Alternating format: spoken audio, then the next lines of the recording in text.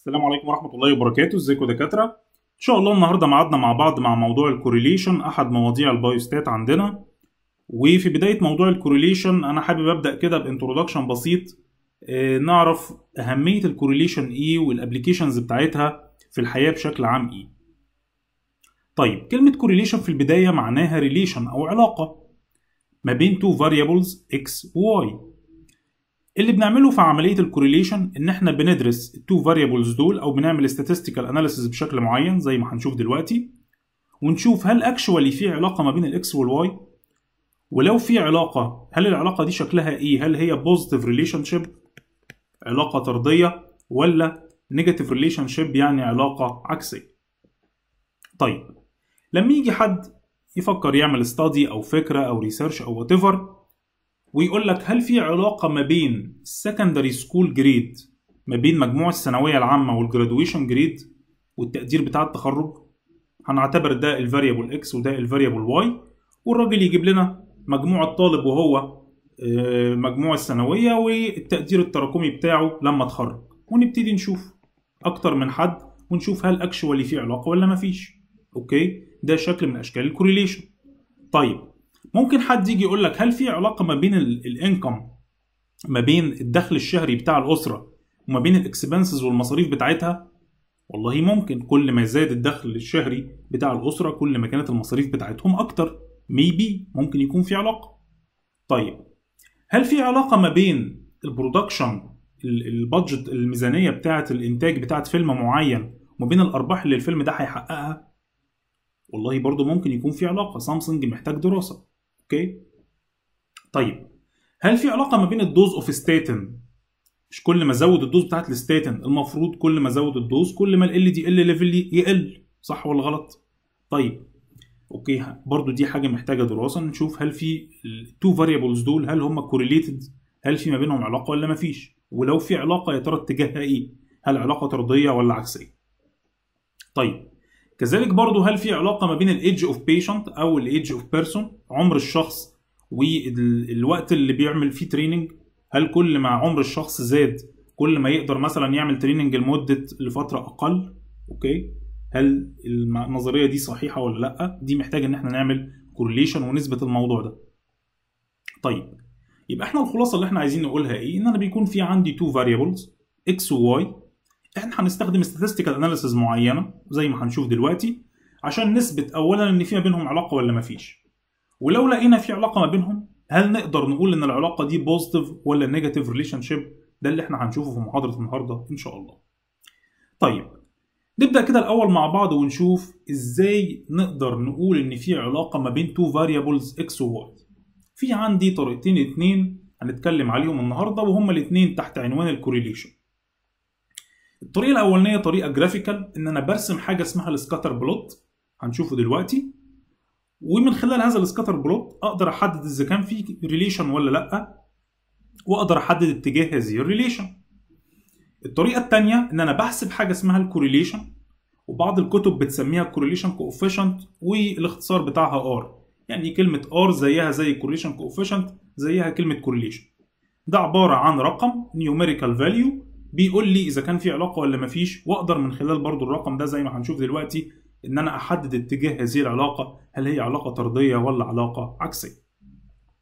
طيب خلونا كده في الأول نتكلم على ال scatter plot وبعدين نتكلم على ال correlation إيه معنى كلمة scatter plot كلمة plot في البداية معناها diagram أو graph طيب أنا النهارده عندي two variables X و Y الميزانية بتاعت الفيلم ويقابلها الأرباح اللي الفيلم ده أو الفيلم ده كسبها. طيب. تعال اما نشوف كده. عايزين نعمل scatter plot هنرسم الاكس على الاكس اكسس والواي على الواي اكسس ونقول والله لما صرفنا مليون دولار في الإنتاج بتاع الفيلم الأرباح بتاعته كانت كذا. ولما صرفنا 2 مليون الأرباح كانت كذا. ولما صرفنا 3 مليون دولار في الإنتاج كانت الأرباح وهكذا لحد ما نوصل لحد 10 مليون. كل الأرقام دي عندي في ال study بتاعتي. طيب. تعال نبص كده على ال scatter plot ده. الشكل اللي قدامنا ده كده اسمه scatter plot طيب. Sometimes بيكون ال scatter plot لو كانت ال relation قوية أقدر بمجرد النظر كده بالعين المجردة أبص على ال scatter plot أقول لك والله ده في اتجاه كده ناحية ال positive في positive relationship واضح إن أنا كل ما أزود تكلفة الإنتاج كل ما الأرباح بتاعت الفيلم بتزيد. كل ما بصرف أكتر كل ما أرباح الفيلم بتزيد. طيب عشان الموضوع ما يبقاش بمجرد النظر اتفقوا على حاجة اسمها line of best fit وساعات بيسموه trend line trend line أو ال line of best fit ده ليه criteria إن هو لازم يمر بأكبر عدد من النقط في خلال ال sample بتاعتي أو ال population اللي أنا بشتغل عليها. line of best fit لازم يمر بأكبر عدد من النقط. حتى النقط اللي مش هيمر بيها لازم تكون المسافة بينه وبينها أقل ما يمكن. ده بنسميه ال line of best fit ال line of best fit ده بيديني فكرة عن اتجاه هذه ال relationship هل هي علاقة طردية ولا علاقة عكسية؟ تمام؟ طبعا لما يكون عندي line of best fit بالشكل ده كده زي ما إحنا راسمينه تمام؟ دي كده علاقة طردية يعني كل ما زاد ال X كل ما يزيد ال Y كل ما زودت الدخل الشهري بتاع الأسرة كل ما زاد الإنفاق كل ما زاد ال graduation كل ما زاد sorry ال secondary school grade أو كل ما كان الطالب ده شاطر في الثانوية العامة كل ما كان ال graduation grade بتاعه أعلى. okay؟ كل ما كان التكلفة بتاعه الإنتاج بتاعه الفيلم أكتر كل ما كانت الأرباح بتاعته أكتر. دي اسمها positive relationship وفي الحالة دي بيكون ده اتجاه ال trend line أو ال line of best fit طبعا ممكن يكون في بعض النقط حوالين ال trend line فوق تحت شوية مفيش مشكلة. okay؟ طيب لو كانت كل النقط موجودة على ال trend line دي بنسميها perfect relationship الشكل ده كده يقول إنها perfect positive relationship okay؟ في الحالة دي بيكون كل النقط عندي في ال sample أو التجربة بتاعتي كلها بالظبط على ال trend line ودي بتكون perfect positive correlation لو كان اتجاه ال trend line في الاتجاه ده. طيب ممكن تكون علاقة عكسية. زي إيه علاقة عكسية في الأمثلة اللي إحنا قلناها من شوية؟ زي كل ما زود ال dose بتاعة الستاتين كل ما يقل LDL level دي علاقة عكسية. دي بنسميها negative relationship أو negative correlation okay؟ طيب زي إيه برضو؟ زي ما قلنا كل ما يزيد الايدج بتاع ال patient أو بتاع ال person كل ما يقل عدد الساعات اللي ممكن يتمرنها. دي اسمها علاقة عكسية. negative relationship أو negative correlation دي لما تيجي ترسمها على ال scatter plot هتلاقي ال trend line بتاعها واخد الشكل ده كده. أوكي؟ يبقى لو ال trend line في الاتجاه ده كده دي تبقى negative relationship أو علاقة عكسية. لكن لو كان ال trend line في الاتجاه ده تبقى علاقة إيه؟ طردية أو positive relationship طيب لو جيت رسمت ال scatter plot بتاعي X مقابل Y وطلع لي النقط بالشكل ده كده. random dispersion okay ما أقدرش أصلا أرسم trend line في الحالة دي no correlation no relation ونقول إن ال correlation بتساوي zero okay دي كده في حالة إن ما يكونش عندي في أقدر أرسم أصلا trend line ولا أقدر أرسم line of best fit تمام؟ يبقى دي كده أول طريقة عندي إن أنا أقدر إزاي أعمل assessment إذا كان في relation أو ما فيش. دي طريقة graphical اسمها ال scatter plot برسم ال X versus ال Y طبعا إحنا مش علينا الرسم لكن إحنا علينا ال graph نبقى إحنا فاهمينه. عشان ممكن يجيب لي شكل ال graph في الامتحان ويسألني عليه MCQ يقول لي هذا ال graph مثلا يجيب لي ال graph بالشكل ده كده ويحط لي نقط حواليه ويقول لي ال graph ده بيمثل positive ولا negative relationship يبقى أنا فاهم ان طالما في الاتجاه ده كده تبقى positive relationship okay؟ يجيب لي graph بالشكل ده كده ويقول لي دي positive ولا negative ولا no correlation فهقول له لا ده no correlation okay؟ يبقى أنا برضو لازم أبقى فاهم ال graph شكله إيه.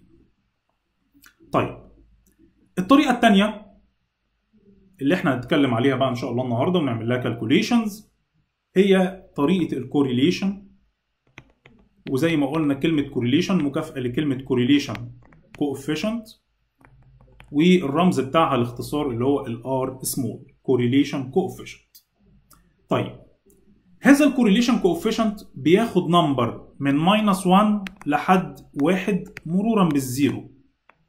بياخد رقم من أول minus 1 لحد 1 وال zero معانا. كويس. ممكن نطلع من ال correlation coefficient بمعلومتين اتنين. زي إيه مثلا؟ هنقول دلوقتي. ناخد مثال. نقول لو كان ال correlation coefficient مثلا عندي minus 0.8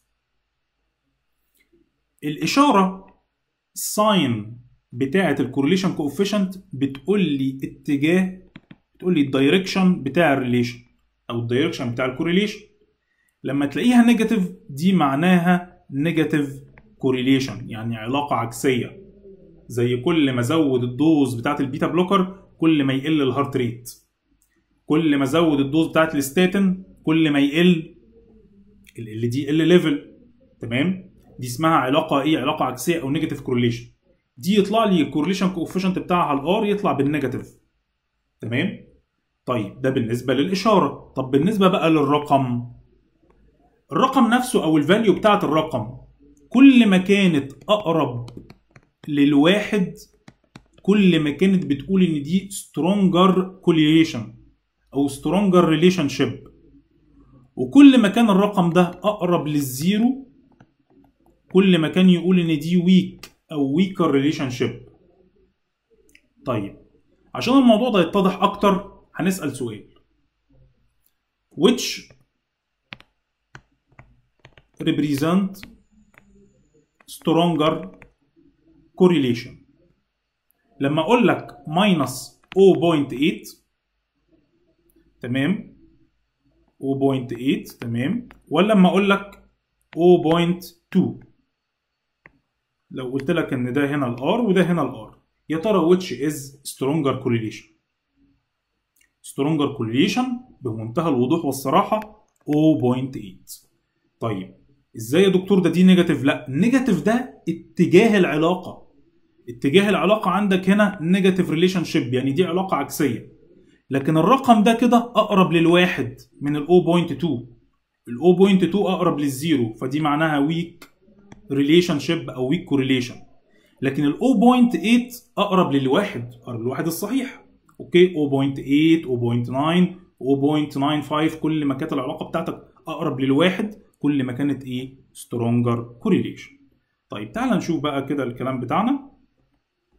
ونشوف إزاي هنحسب ال correlation النهارده والتطبيقات عليه. طيب يبقى إحنا زي ما اتفقنا ال correlation دي عبارة عن إيه؟ عبارة عن statistical method بنستخدمها to determine the type اللي هو ال direction اللي هو إيه؟ اتجاه العلاقة. هل هي positive relationship ولا هل هي negative relationship هل هي علاقة طردية ولا علاقة عكسية؟ And the strength of the relation قوة العلاقة.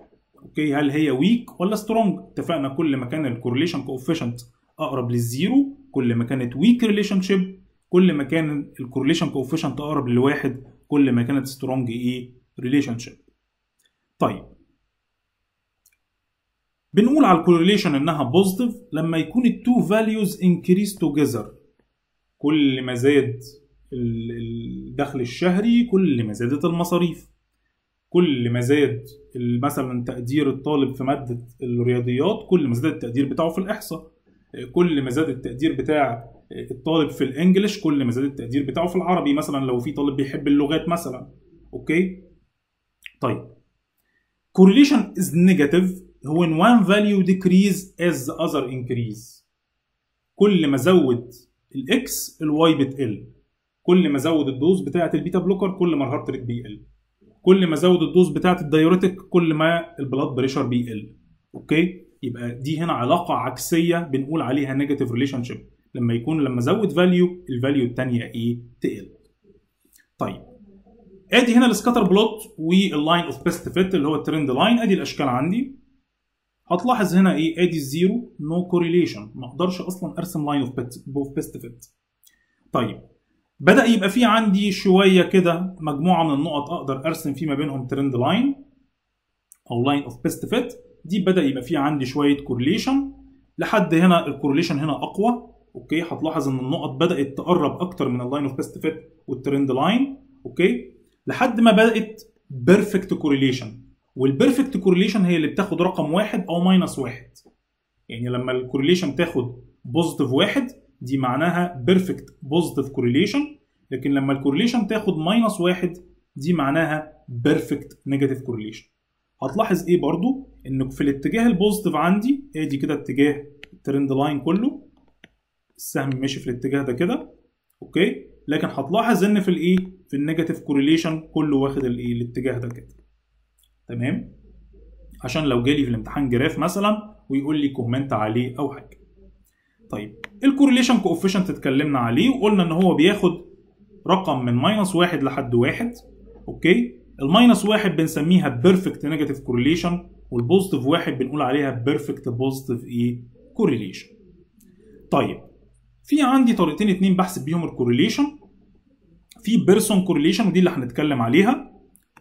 ودي بتحسب ال correlation أو ال association ما بين two continuous variables اتنين الاتنين ال X وال Y عندي ال two variables اللي بنتكلم عليهم بيكونوا continuous أو numerical data هتلاحظ كده فعلا. كل اللي اتكلمنا عليهم دي كده million dollars دي كده ال dose بتاعت ستاتين بالملي جرام ده الايدج بالير ده ال income مثلا بال dollars فهتلاقي دايما الرقم اللي بنتكلم عليه data numerical okay؟ لكن لو بشوف ال strength of association ما بين two ordinal variable بستخدم حاجة statistical method اسمها Spearman correlation دي مش هندرسها في ال course بتاعنا. إحنا بنتعامل مع ال Pearson correlation اللي هو بيقيس العلاقة أو بيقيس ال association ما بين two continuous variables okay؟ ناخد بالنا من الحاجات الصغيرة دي ممكن يسأل فيها في ال MCQ طيب في مثال كده هناخده النهارده من أول دلوقتي لحد ما يعني نخلص كده هناخد المثال بتاع ال ice cream sales وال temperature هنشوف إيه العلاقة ما بين درجة حرارة الجو بال degree centigrade ومبيعات ال ice cream ال ice cream sales إحنا متوقعين من دلوقتي إن كل ما درجة الحرارة بتزيد كل ما الجو بيحرر أكتر كل مبيعات ال ice cream بتزيد. خلينا نشوف ال data بتاعتنا أخبارها إيه وشكل ال correlation بتاعي هيكون إيه. طيب الراجل جاب لي ال data جاب لي الاكس والواي الاكس التمبريتشر والواي الايس كريم سيلز وعايز أشوف هل في ما بينهم relation ولا لأ باستخدام الطرق اللي إحنا قلنا عليها عشان أشوف في correlation ولا لأ. طيب الطريقة الأولانية بتاعتي هي طريقة ال scatter plot وال line of best fit لما رسمنا ال data ال X axis حطينا عليه ال temperature وال Y axis حطينا عليه ال sales. طلع لي هنا ال data بتاعتي على ال scatter plot. بمجرد النظر كده بتقول إيه؟ بتقول إن في اتجاه positive إن العلاقة ماشية في الاتجاه الطردي ممكن كل فعلا ما زادت درجة الحرارة كل ما كانت إيه؟ كل ما كانت مبيعات ال ice cream أكتر. طيب لو رسمت line of best fit بيمر بمعظم النقط هلاقي فعلا إن هو في الاتجاه ال positive أو في الاتجاه الطردي طيب حابب إن أنا أقيس ال correlation coefficient هنحسب هنتعلم دلوقتي إزاي نحسب ال correlation coefficient هيطلع عندي زي ما إحنا شايفين هنا 0.95 طيب 0.95 ده يقول إيه؟ يقول إن ال correlation positive يقول إن العلاقة طردية لأنه رقم موجب ويقول كمان إنها strong إنها strong correlation تمام لأنها قريبة من الإيه؟ قريبة من الواحد الصحيح. طيب we can easily see نقدر نشوف بسهولة that the warmer weather كل ما كان الجو حر higher sales بتاعه الايه؟ بتاعة ال ice cream كل ما كانت مبيعات ال ice cream أكتر. طيب. Sometimes في بعض الأحيان ال correlation عندي مش بتديني linear correlation. مش بتديني خط مستقيم. ال line of best fit مش بيكون خط مستقيم. أمال بيكون إيه؟ قال لك بيكون curved قال لك في هذه الحالة لا أستطيع إن أنا أعين ال correlation. Correlation is not good at curves. أوكي أقدر أعين ال correlation لما يكون في عندي straight line لكن لما يكون في عندي curve لا ما أقدرش أعين منه ال correlation طيب إيه سبب ال curve في الحالة بتاعتنا هنا؟ قال لك إحنا هنقيس درجة الحرارة أو هنقيس المبيعات لما درجة الحرارة تزيد أكتر. أوكي هنزود ال curve شوية ونزود النتائج بتاعتنا. ونشوف لما درجة الحرارة تزيد أكتر يا ترى مبيعات الآيس كريم هيحصل فيها إيه؟ ولاحظوا حاجة ظريفة قوي إن مبيعات الآيس كريم بتقل لما درجة الحرارة تزيد. تزيد جدا بقى. طيب ليه في الحالة دي؟ قال لك في الحالة دي لما بيجي موجة حر ولا درجة الحرارة بتعلى جدا الناس أصلا مش بتخرج من البيت. أوكي؟ وبالتالي مبيعات الآيس كريم ومبيعات كل حاجة بتقل. فنسبة الشراء بشكل عام بتقل. أوكي؟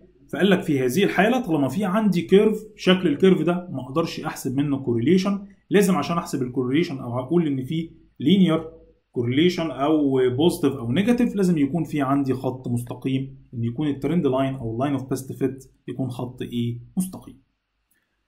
طيب المعلومة اللي بعد كده معلومة مهمة جدا إن ال correlation is not causation يعني إيه؟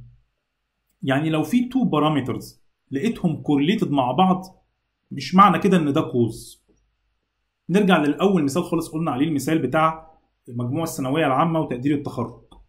لو حتى لو أنا عملت التجربة بتاعتي وقست بال correlation لقيت إن في positive correlation ما بين مجموع الثانوية العامة وما بين التقدير التراكمي بتاع التخرج ده مش معناها إن مجموع الثانوية العامة cause higher graduation grade score تمام؟ ال correlation عمرها ما تقول إن في causation عمرها ما تقول علاقة ال causality ناخد بالنا بس عشان ممكن الناس ما تاخدش بالها من المعلومتين دول. في two terms في ال English لما نيجي نستخدمهم statistically لازم نبقى حريصين شوية. كلمة associated with وكلمة cause. تمام؟ لما أقول لك إن في factor معين associated with حاجة غير لما أقول لك factor ده cause حاجة. أوكي؟ ده يعني level أعلى. ال causation أو علاقة ال causality أو ال causation ده علاقة أعلى. علشان كده إحنا هناخد statistical method أقوى من ال correlation شوية اسمها ال regression دي بقدر بيها أحدد ال causality لكن على level ال correlation لا ما أقدرش أقول إن ال factor ده cause الإيه؟ ال variable التاني. طيب أنا عايز أوضح لك الموضوع ده هنا. فجم عملوا correlation ما بين مبيعات ال sunglass مبيعات نظارات الشمس ومبيعات الايس كريم. لقوا إن في ما بينهم الاثنين positive correlation أوكي؟ طيب. هل ده معناه إن إن الزيادة في مبيعات ال sunglass make people want ice cream يعني هل الزيادة في مبيعات النظارات الشمس بتخلي الناس تشتري ايس كريم لا مفيش علاقة خالص بينهم الاثنين أوكي؟ ولكن في ما بينهم positive correlation مفيش علاقة causation تمام؟ طيب أنا عايز أقول إيه؟ عايز أقول إن مش شرط علاقة ال correlation تقول إن في causation ممكن يلخبطني في الجملة دي في ال true false ويجيبها لي كالآتي. يقول لي حسبنا ال correlation coefficient ما بين مبيعات الايس كريم وما بين ال temperature ولقينا ال correlation coefficient بيساوي 0.95 زي ما كان عندي في الإيه في الأول. طيب لما يجي هنا ويقول لي this means that okay the higher the temperature cause increase in the ice cream sales. الجملة دي true ولا false أقول له لا false. إذا قال لي كلمة cause إن زيادة درجة الحرارة بتسبب زيادة في شراء الآيس كريم الإجابة غلط. طب لو شال كلمة cause دي وحط إن زيادة ال temperature أو the warmer the weather كل ما كان الجو حر is associated with increase في ال ice cream sales الإجابة صحيحة أو الجملة صحيحة. يبقى إحنا عايزين نقول إيه؟ إن ال correlation بتقول في علاقة ولا مفيش لكن عمرها ما تقول السببية أو عمرها ما تقول إن ده cause تمام؟ إن ال factor ده بيسبب الإيه؟ ال factor التاني. it's okay. طيب. تعالوا ندخل بقى في المهم how to calculate correlation coefficient إحنا اتفقنا ان إحنا في عندنا حاجة اسمها correlation coefficient بياخد رقم من minus واحد لحد واحد. ممكن يكون zero والإشارة بتدل على الاتجاه بتاع ال relation وال value بتدل على قوة العلاقة. كل ما كانت أقرب من الواحد تبقى stronger وكل ما كانت أقرب من ال zero تبقى weak طيب correlation coefficient اللي إحنا عمالين نتكلم عليه ده بقى عايزين نحسبه. ودي المسألة اللي بتجيلي في الامتحان إن أنا أحسب ال correlation coefficient وبعد ما أحسبه هيقول لي comment يعني بعد ما حسبته بقى طلع لك positive طلع لك negative طلع لك إيه؟ يقول لي اعمل comment عليه. طبعا لو حسبت ال correlation coefficient وطلع لك 2 أو 3 أو 4 أو 5 اعرف إن أنت بتهرج واعرف إن إجابتك غلط. correlation coefficient رقم من minus واحد لحد كام؟ لحد واحد. طيب. في عندي طريقتين اتنين أقدر أحسب بيهم ال correlation coefficient الطريقتين دول أول طريقة بنسميها الاي بي اند سمز الاي والبي والسمز اللي هي المجاميع. كلمة سمز اللي هي مجاميع. طيب والطريقة الثانية بنسميها الاكس والواي اند سمز الاكس والواي والايه والسمز اللي هي المجاميع. طيب تعال نشوف بقى الطريقة الأولانية دي وليه اسمها A and B أول حاجة مبدئيا اللي بيجي لي في رأس السؤال بيجي لي الجدول ده كده. جايب لي ال two variables بتوعي جايب لي ال X وجايب لي ال Y وبيقول لي لو سمحت حضرتك شوف لي هل في correlation ما بين أو في relation ما بين ال two variables دول ولا لا. ممكن حتى ما يجيبليش كلمة correlation coefficient خالص. يقول لي شوف لي في relation ما بين ال two variables دول ولا إيه. طيب. في الطريقة بتاعت A and B لو هشتغل بالطريقة الأولانية طبعا سواء الطريقة الأولانية أو الثانية الاثنين بيطلعوا نفس الناتج نفس الرقم بالظبط. أوكي؟ إحنا اللي هنتعلمه هنا ان إحنا نعرف نحسب إزاي بالطريقة دي أو بالطريقة دي. طيب الطريقة بتاعت A and B من اسمها كده بعمل two variables اسمهم A and B. هم مش موجودين عندي أصلا هو أصلا مديني x و y. تمام؟ أنا هعمل two variables اسمهم A and B. هعملهم إزاي؟ أول خطوة بحسب المين بتاع الاكس والمين بتاع الواي المين بتاع الاسم بتاع الإكس اسمه إيه؟ اسمه X bar. وال mean بتاع ال Y اسمه إيه؟ اسمه Y bar.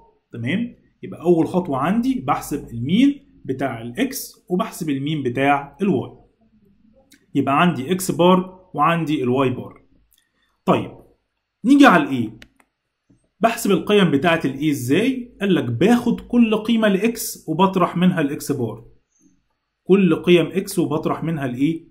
ال X bar واكتب القيمة عندي زي ما تطلع positive أو negative طيب نيجي على ال B ال B قال لك نفس الكلام بس بالنسبة لل Y باخد كل قيم Y وبطرح ال Y ناقص ال Y bar يعني ممكن في بعض الجداول تلاقيه بدل ما يكتب A يكتب لك X ناقص ال X bar وبدل ما يكتب B يكتب لك Y ناقص ال Y bar okay؟ طيب. أنا كده حسبت A و B بعد ال A وال B بعمل ثلاثة columns ثلاث أعمدة. أول عمود عبارة عن A square وتاني عمود B square وتالت عمود A B ال A square اللي هو تربيع ال A وال B square اللي هو تربيع ال B وال A B اللي هو بضرب ال A B في بعض. طيب آخر حاجة بوصل لها تحت. الثلاثه الثلاثه قيم اللي تحت دول اللي هم اسمهم الايه السمز اللي هم المجاميع. okay؟ مجموع ال A square ومجموع ال B square ومجموع ال A B إحنا عشان تسهيلا علينا عشان نبقى إحنا نحفظ الموضوع بشكل أسهل هندي للسمشن اي سكوير الرمز banana وهندي لل B square أو ال summation بتاع ال B square الرمز orange وهندي لل summation بتاع ال A B الرمز apple okay؟ طيب هنلاحظ برضو إن إحنا الاتجاه بتاعنا كده بنمشي في اتجاه اللون يبقى أغمق. يعني اللون بتاع ال banana أصفر اللون بعديه بتاع ال orange بيبقى orange بعديه اللون بتاع ال apple بيبقى أحمر وهكذا. طيب it's okay. بحسب ال correlation coefficient إزاي؟ قال لك ال correlation coefficient بيساوي ال apple في البسط مقسوما على ال square root الجذر التربيعي لل banana multiplied by ال orange okay يبقى إحنا عشان نبقى إحنا الموضوع سهل بالنسبة لنا بحسب ال A and B وبعد كده a square b square A B okay وبعد كده السمز بتاعتي المجاميع بالترتيب السمشن بتاع الاي سكوير والسمشن بتاع البي سكوير والسمشن بتاع الاي بي correlation coefficient بيساوي ال apple مقسومة على square root of banana multiplied by ال orange طيب تعال نشوف القانون اللي بيجي لي في الامتحان. القانون بيجي لي في الامتحان كمعطى. أنا بس لازم أتدرب إن أنا بوصل إزاي للقانون وبطبقه إزاي. البسط عندي قال لي إيه؟ قال لي البسط عبارة عن سمشن إكس ماينس إكس بار في Y ناقص ال Y bar كل ده كده على بعضه مقصود بيه summation A B اللي هو ال apple. summation A B ال A اللي هي ال X ناقص ال X bar وال B اللي هي Y ناقص ال Y bar. طيب تعالى على المقام. بيقول لي إيه بقى؟ بيقول لي المقام square root الجذر التربيعي ليه سمشن إكس ناقص الاكس بار تربيع. سمشن إكس ناقص الاكس بار تربيع اللي هي إيه؟ اللي هي سمشن اي سكوير أهو. طيب سمشن واي ناقص الواي تربيع اللي هو اللي هو ال B square summation ال Y ناقص الايه ال Y تربيع. ادي بمنتهى البساطة لو جيت حبيت أعملها على ال calculator على الاله الحاسبه تعالوا نشوف هنا مع بعض. ادي كده هعمل بسط ومقام.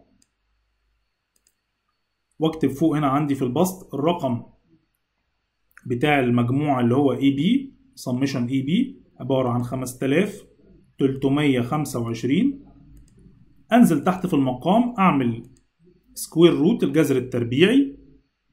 أضرب فيه 177 مضروبة في 174000 في 757 equal طلع عندي ال correlation coefficient ب 0.95 اللي هو ال correlation coefficient إيه اللي عندي.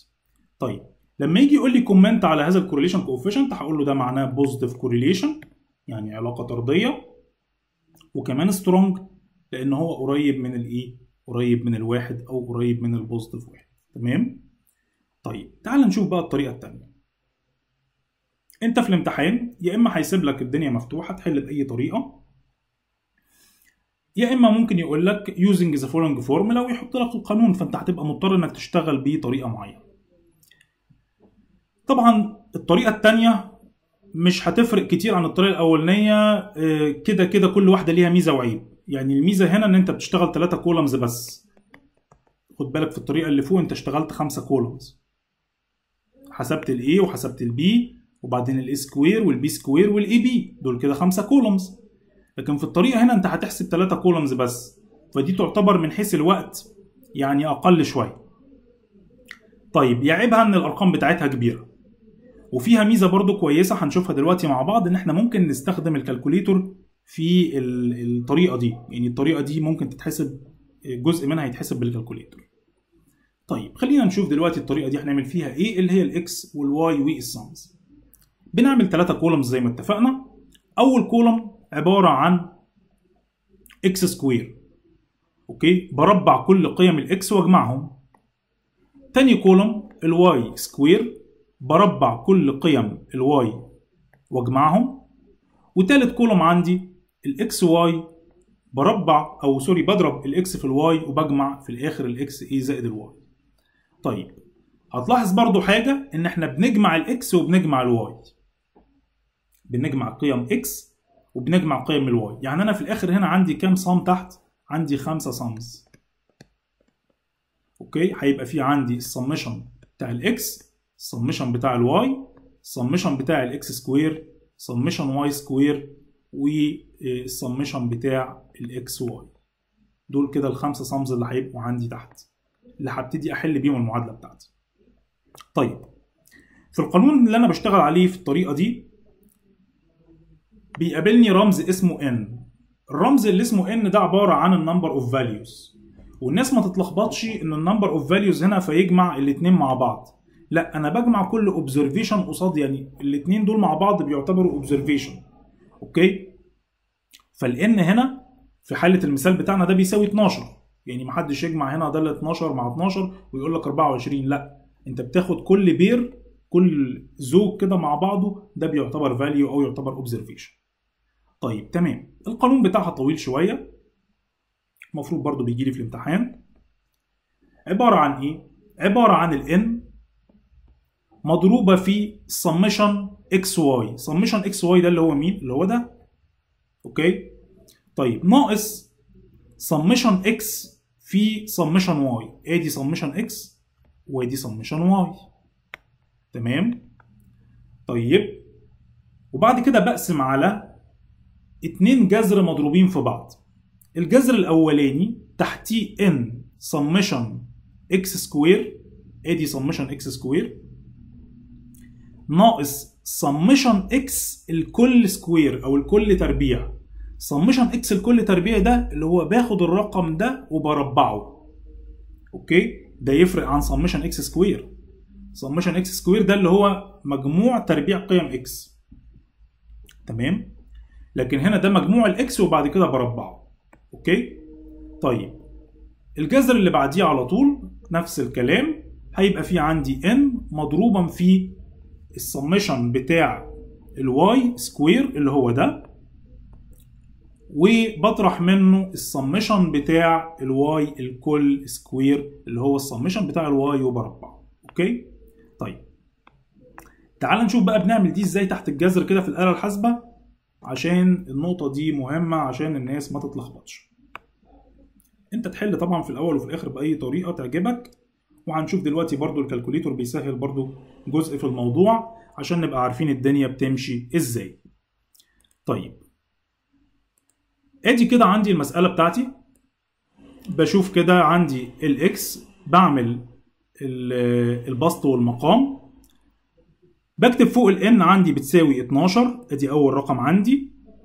بعد كده السمشن بتاع الاكس واي اللي هو الرقم اللي بالأسود ده كده عندي اللي هو في ال 95506 علامة 6 بطرح منه ال sigma X اللي هو 224 واحد من عشرة. مضروبا في ال sigma Y اللي هو 4829 طيب أنا هنا ما عملتش أقواس لأن أنت الآلة الحاسبة أصلا بتخلص الضرب قبل الطرح. فهي هتخلص already ده كده الجزء ده لوحده تمام؟ وبعد كده هتخلص هي الجزء ده لوحده. فمش لازم أعمل أقواس فوق. طيب تعالى بقى ركز معايا في المقام عشان الموضوع مهم جدا جدا جدا تحت في المقام. قبل ما ابتدي أحط اي values تحت في المقام لازم اعمل الشكل ده كده ولازم تركز معايا. هعمل قوس واقفله واضربه في كمان قوس واقفله. وارجع أحط جوه القوس الاولاني ده علامة الجذر وأروح أحط جوه القوس التاني ده علامة الجذر. Okay؟ طيب. عايزك تركز معايا بس الشكل ده كده قبل ما نحط أي data تمام؟ عشان موضوع الأقواس هنزود أقواس دلوقتي جوه فالدنيا ما تتلخبطش بتاعتك في المقام. عملت قوس قوسين اتنين مضروبين في بعض وحطيت جوه القوس الأولاني جذر وحطيت جوه القوس التاني جذر ولسه ما حطيتش أي data. طيب هرجع للقوس الأولاني بقى ابتدي أحط ال data بتاعتي. ال N عندي بكام؟ ب 12 مضروبة في سمشن إكس سكوير اللي هو 4362 و5 من 100 هطرح منه. السمشن إكس الكل square ده لازم أعمله جوه قوس. يبقى هقوم جاي فاتح قوس وأعمل السمشن إكس اللي هو 224 واحد من عشرة وأقفل القوس الكل سكوير. أنا كده خلصت الناحية دي. تمام؟ هتحرك بالسهم. وادخل تحت الجذر التاني. الجزء التاني ده بقى. طيب اكتب ال N بتاعتي اللي هي ب 12 اضرب فيه السمشن بتاع الواي السمشن بتاع الواي سكوير اللي هو بكام سمشن واي سكوير 211 ولا إيه؟ 200 و 211 80 25 هي أرقامها كبيرة شوية. وبطرح من سمشن واي الكل تربيع. سمشن واي الكل تربيع. تركز معايا بقى. بعملها برضو داخل أقواس. يبقى بفتح قوس. سمشن واي 4829 بقفل القوس. الكل تربيع. أعمل يساوي. طلع لي ال correlation coefficient علامة 9 5 7 ده ال correlation إيه coefficient تمام؟ ادي كده القانون بتاعي وادي الطريقة التانية اللي هي طريقة ال X وال Y وال sums طيب. ممكن الناس تقول لك الطريقة دي صعبة شوية. هنتعلم دلوقتي إزاي باستخدام ال calculator نحسب ال correlation coefficient هنتعلم طريقة ال calculator وإحنا بنحل المثال الأخير ده معانا في محاضرة النهارده. والمثال ده من ال practical والدكتور طارق ركز عليه جدا جدا وقال المثال ده مهم وإن شاء الله expected إن هو يجي في الامتحان. طيب. تعال نشوف إزاي بنستخدم ال calculator. طبعا إحنا هنا اشتغلنا عليه بالطريقة بتاعه الاكس والواي والسمز ممكن انت تشتغل عليه بطريقة A and B عادي. أي طريقة تعجبك بتوصل لنفس النتيجة نفس ال correlation coefficient تعال نستخدم ال calculator كده في حساب. نشوف إزاي بنستخدم ال calculator عشان أحسب ال correlation coefficient أول حاجة لازم أتأكد إن مفيش أي data متخزنة عندي على ال calculator بتاعي. مفيش أي data قديمة من الحل بتاعي أو كده تكون متخزنة. فبعمل shift وبعدين تسعة هيطلع لي clear ال memory ولا ال setup ولا إيه؟ هقول له clear all هيقول لي reset all هقول له yes reset all clear تمام؟ كده ال calculator بتاعي زي ما يكون جاي من المصنع بالظبط. كده مفيش أي data متخزنة عليه ولا أي حاجة. طيب أول حاجة بعمل mode وبختار رقم 2 اللي هو statistics mode وأنا في ال statistics mode بختار رقم 2 رقم 2 دي اسمها regression analysis ال correlation أحد الخطوات اللي بنعملها في ال regression analysis اللي هنتكلم عليه في المحاضرة الجاية. يبقى هنقول نختار رقم 2 هنا عندي regression analysis راح مطلع لي على طول الايه ال X وال Y بيقول لي دخل قيم ال X ودخل قيم ال Y هبتدي أدخل قيم ال X بتاعتي. والمقابل ليها القيم بتاعت ال Y ادي كده 43 في الأول equal 21 equal 25 equal 42 equal 57 equal 59 equal تمام؟ كده أنا دخلت الست بيانات اللي هو مديهم لي بتوع الايه بتوع ال age بال years. طيب مقابل ليهم أبتدي أدخل ال values بتاعت ال Y قصاد ال 43 كان عندي كام؟ 99 equal بعد كده 65 equal بعد كده 79 equal قلنا لو في حاجة عندي لو في رقم أنا كتبته غلط لو 79 ده أنا كتبته غلط بطلع تاني أقف عليه بالسهم وأكتب التصحيح بتاعي وأعمل equal طيب 75 equal 87 equal 8 equal okay طيب. 8 دي مش 8 دي 81 طيب 81 sorry. دي كده 81 equal all clear. كده هو احتفظ بالجدول بتاع ال X وال Y ده كده عنده في الذاكرة وهبتدي أنا أشتغل عليه. ممكن في one single step ممكن أروح أعمل كده shift statistics. واختار رقم خمسة اللي هي regression analysis واختار الرمز رقم ثلاثة اللي هو ال r small واقول له equal هيطلع لي على طول ال correlation coefficient اللي هو في الحالة هنا عندنا طلع بكام؟ ب 0.52 ب 52 من 100 وده معناها positive correlation تمام؟ طيب. ده كده في one single step أنا حسبت ال correlation coefficient في عندي option هنشوف دلوقتي إن ممكن الآلة الحاسبة تجيب لي ال sums دي. الخمسة sums اللي تحت دول ممكن تجيبهم لي. هروح أختار shift statistics وأقول له رقم 3 اللي هي ال sums فقال لي أنت عايز ال sum بتاع إيه بقى؟ عايز السمشن بتاع الاكس سكوير ولا سمشن إكس ولا سمشن الواي سكوير ولا سمشن الواي طيب هناخد مثلا الأول هنراجع الإجابات بتاعتنا كده. نشوف السمشن إكس اللي هو رقم 2 طلع لي سمشن إكس 247 زي ما إحنا عاملينه. طيب لو جيت عملت shift statistics واخترت رقم 3 سمشن واخترت رقم واحد اللي هو سمشن إكس سكوير طلع عندي ب 11409 زي ما إحنا مطلعينه برضو سمشن إكس سكوير طيب تعالى نشوف ال Y كده. shift statistics. رقم 3 سمشن ونختار السمشن بتاع الواي اللي هو رقم 4 أقول له equal 486 مظبوط. shift statistics. نختار summation رقم 3 ونختار السمشن بتاع الواي سكوير أقول له equal طلع عندي ب 40022 تعال نشوف السمشن إكس واي بقى. آخر حاجة ادي shift statistics 3 summation رقم 5 سمشن إكس واي يساوي 20485 يبقى اللي هنا ال calculator في الطريقة بتاعت ال X وال Y بتديني option إنها تأكد لي على الحلول بتاعتي. okay؟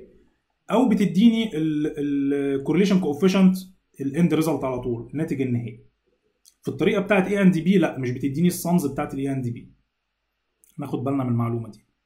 أدي كده السمز اللي أنا طلعتها عوضت فيها بالمع... عوضت بالمعادلة. طلع لي ال correlation coefficient ب 0.52 ودي تعتبر positive correlation ممكن أنت تتدرب على المثال ده الدكتور قال ممكن أغير فيه في الأرقام بتاعته ولا حاجة. تتدرب عليه تحله بال calculator وتحله بالطريقة بتاعه ال XY وال sums وتحله بالطريقة بتاعه ال AB and sums كل الطرق إن شاء الله سهلة والموضوع إن شاء الله بسيط. تمام؟